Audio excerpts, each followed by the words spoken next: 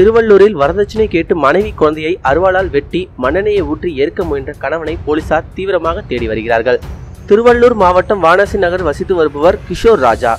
இவர் கடந்த இரண்டாயிரத்தி பதினாறாம் ஆண்டு மன்னார்குடியை சேர்ந்த ஜெயநந்தினி என்பவரை திருமணம் செய்து கொண்டார். இந்த தம்பதிகளுக்கு இரண்டு வயதில் ஆண் குழந்தை ஒன்று உள்ளது. காட்டரில் கால் பரிசோதனை மையம் நடத்தி வரும் கிஷோர் தன்னுடைய தொழிலில் விரிவுபடுத்துவதற்காக நந்தினியிடம் ரூபாய் இருபது லட்சம் பணம் கேட்டுள்ளார்.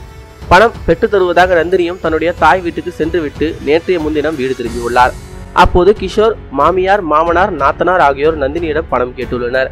அப்போது பணம் இல்லை என நந்தினி கூற ஆத்திரமடைந்த கிஷோர் அருவாளால் நந்தினியை வெட்டியுள்ளார். இதையடுத்து உடனடியாக நந்தினி மற்றும் அவருடைய குழந்தையின் மீது மண்ணெண்ணெயை ஊற்றி மாமியாரும் நாத்தனாரும் இருவரும் சேர்ந்து எரித்துக்கொள்ள முயற்சி செய்துள்ளனர். உடனே கூச்சலிட்டு அக்கம்பக்கத்தினர் உதவியுடன் அங்கிருந்து தப்பிய நந்தினி அரசு மருத்துவமனையில் அனுமதிக்கப்பட்டார்.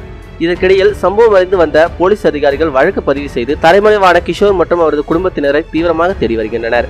மேலும் இது போல செய்திகளை உடனுக்குடன் தெரிந்து கொள்ள நமது தமிழ் சினிமா சேனலை சப்ஸ்கிரைப் பண்ணுங்க. மேலும் இது போல செய்திகளை தெரிஞ்சுக்க நம்ம தமிழ் சினிமா சேனலை சப்ஸ்கிரைப் பண்ணுங்க.